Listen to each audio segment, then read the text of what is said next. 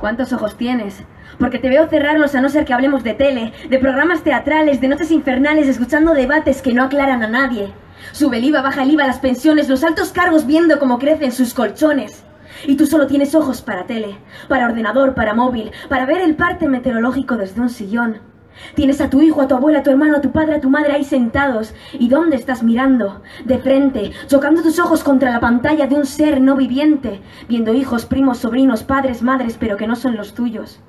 Y yo me hundo, me hundo, porque es tiempo que regalas a otros sin recibir nada a cambio. Y entonces, querrás correr a buscar el abrazo de alguien al que no le diste tiempo. Y ahora no está el mando para cambiar de canal, echar para atrás, apagar, bajar el volumen y disimular. Esto es la vida real. Aquí no sabes si alguien te está persiguiendo por la banda sonora que suena al fondo, o si la cosa se va a poner fea cuando se enciende el pilotito rojo. Aquí no suenan aplausos programados cuando logras algo que habías soñado, ni suenan risas forzadas cuando la cagas porque la has cagado. Esto es la vida real. Tienes que ir de cara y vas de canto. Vas como un loco saltando, corriendo, barriendo personas. Ya pondrás una frase en Instagram si la cosa no funciona. Pero que le den like, que eso a mi autoestima le mola.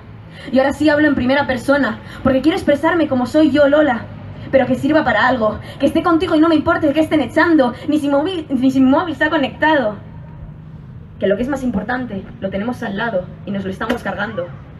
Por eso espero que te haya gustado, que no haya sido tiempo perdido, sino tiempo ganado, y que te expreses, que cuando deje de estar de canto y mire de frente, quiero verte. Un minuto 41, un poema casi en la, en la mitad del tiempo permitido, o sea... ¿Para qué más, no? ¿Para qué más? Si ya lo tienes en un minuto 40, pues ahí, ahí lo ha dejado Lola Garaico Echevarría. Es que ricasco. Es que ricasco.